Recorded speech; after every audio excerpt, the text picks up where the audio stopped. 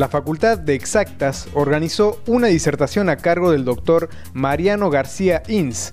El disertante habló sobre los efectos de radiación ionizante en satélites y equipos de diagnóstico médico. Nosotros investigamos en el área, un área que se llama microelectrónica. Eh, la microelectrónica estudia el desarrollo, la fabricación y el diseño de circuitos integrados, es decir, chips eh, los chips, por ejemplo, los que hacen que funcione un celular. Y específicamente nos dedicamos a estudiar cómo la radiación ionizante afecta a estos circuitos.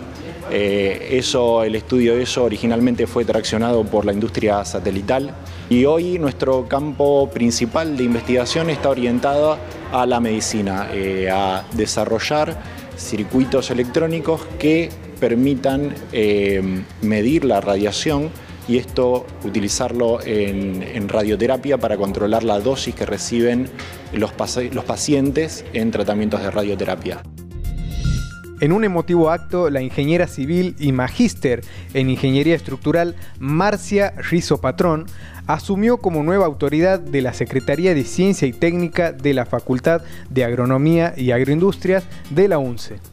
La flamante secretaria cuenta con una destacada trayectoria en el área de rectorado y en otras unidades académicas, además de desempeñarse como investigadora y docente de nuestra universidad.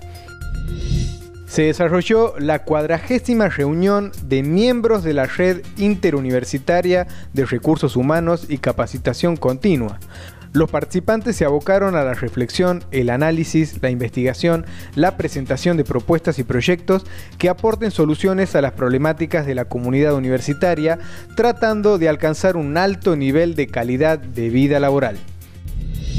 Como cada año, el Teatro de la Universidad Nacional de Santiago del Estero comenzó con sus cursos, talleres y diversas actividades a través de la Secretaría de Extensión Universitaria. El coordinador del TUNCE, profesor Adrián Ruiz, anunció las actividades previstas para este 2019, tanto en nuestra ciudad capital como en el interior de la provincia. Para este año tenemos programado hacer una muestra para finales de mayo, principios de junio, y también la presentación del elenco con una obra. Y la idea es no solo los de la muestra, las chicas que van a hacer la muestra, sino con la obra, sino que también los alumnos de primer año y segundo año poder ir tanto a los barrios como al interior para hacer distintas presentaciones de obras, de escenas y también para que nos pidan eh, algunos trabajos que suelen hacerlos dentro de la universidad. Tras una gran convocatoria, el área de egresados y entidades profesionales de la UNCE, junto a todas las facultades, participaron de una reunión con integrantes de la mesa de trabajo, consejos, colegios y asociaciones de profesionales. Presidentes y representantes de las diversas entidades de la provincia trabajaron junto a autoridades de nuestra universidad para promover la inserción de los egresados dentro del mundo laboral. El doctor en arqueología y antropólogo Catriel León encabezará un equipo de investigación tras el hallazgo de dos cuerpos fosilizados en el sur de nuestra provincia. El investigador de la Facultad de Humanidades que se desempeña como docente en la carrera Educación Intercultural Bilingüe, habló sobre este acontecimiento histórico.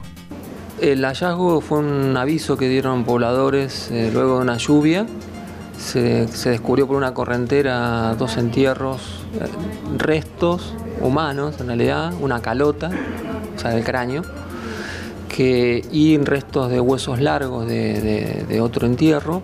Es un sector de la lagunilla, se llama, entre Sumampa, Sumampa y Sumampa Viejo, donde es un lugar recurrente, hay tacanas, han aparecido otros hallazgos, demás.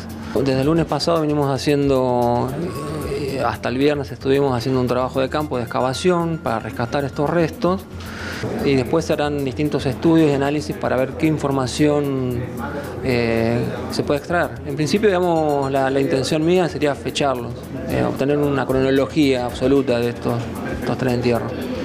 Esto abre, digamos, una, algo interesante de, poder eh, fechar y tener una cronología absoluta para esta área que desconocíamos este, las antigüedades, las ocupaciones.